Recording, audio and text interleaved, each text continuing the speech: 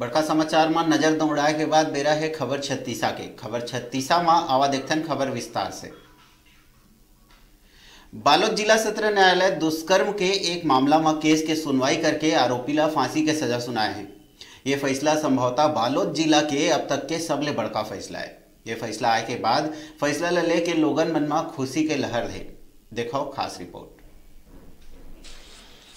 दो बछर पहले दल्ली राजहरा थाना क्षेत्र में एक नाबालिग के संग दुष्कर्म और हत्या के मामला में जिला एवं सत्र न्यायालय हा आरोपी फांसी के सजा सुनाई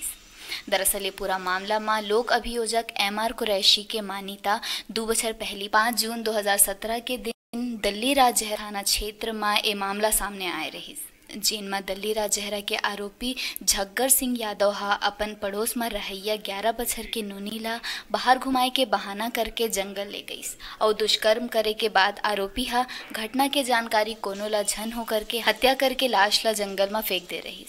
घर ले गए अब नोनी के पता नहीं मिले ले परेशान माता पिता मन दल्ली राजहरा थाना में रिपोर्ट दर्ज कराई जेकर दो दिन बाद पुलिस ला नोनी के लाश कोकान घाटी के जंगल में मिलिस। दिल्ली राजहरा पुलिस मामला के करीबी जाँच पड़ताल कर 9 जून 2017 के आरोपी ला गिरफ़्तार कर न्यायालय में पेश करिस। ये मामला में बालोद जिला सत्र न्यायालय हा पाक्सो एक्ट नाबालिग के अपहरण, दुष्कर्म और हत्या कर साक्ष्य छिपाए के आरोप सिद्ध होए में आरोपी ला फांसी के सजा सुनाई ये फैसला के आय के बाद अधिवक्ता मन इला ऐतिहासिक फैसला बताई और कही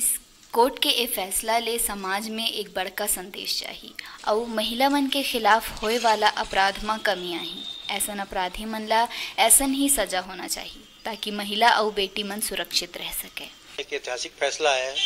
जो पास्को जैसे मामलों में जिसके नाबालिग लड़कियों को, जिसके बलात्कार और हत्या संबंधी अपराध होते हैं, इस संबंध में एक न्यायालय निर्णय दिया है उन्होंने। धारा तीन सौ दो, जो आजीवन कारावास हमेशा दिया था लेकिन पहली बार ऐसा हुआ है कि उन्हें न्यायालय ने फांसी की सजा सुनाई, मृत्युदंड। और धारा तीन सौ तिरसठ, छियासठ, छिहत्तर, तीन सौ छिहत्तर और पास्को एक्ट के तहत उपरोक्त धाराओं के अंतर्गत लगभग प्रत्येक में एक एक हज़ार और तीन हज़ार रुपये जुर्माना, कुल सात हज़ार रुपये जुर्माना किया है। प्रकरण ऐसा ग्यारह वर्षीय बालिका को आरोपी ने उसके घर से, चलो घुमा कर लाता हूँ करके जंगल में ले गया, कोकान की झाड़ियों में और वहाँ उसके साथ दुष्कर्म किया, बलात्कार किया और उसके सिर पर प्रहार करके उसको हत्या भी कर दी और उसको झाड़ियों को छुपा दिया और अपन निकल गया बाहर। इधर उसकी मम्मी ने खोजा कहाँ है? जब फोर्स ने देखा तो दूसरी रात दिन भर देखिए, रात में उसका शव प्राप्त हुआ। शव को व्यवस्था देख के समझ में आ गया तो उसके साथ क्या हुआ है? पीएम हुआ और पदमा जगत और मनीष परिहार ने, इन्होंने काफ़ी मेहनत की। थाना राजहरा के लोग प्रभारी थे और इस तरह से उन्होंने विवेचना पूर्ण कर न्यायालय में प्रस्तुत किया, जहाँ विद्यान न्यायाधीश ने प्रकरण को सिद्ध मानते हुए मृत्युदंड की सजा बालोद ले डिजिटल रिपोर्टर जागेश्वर सिन्हा की रिपोर्ट।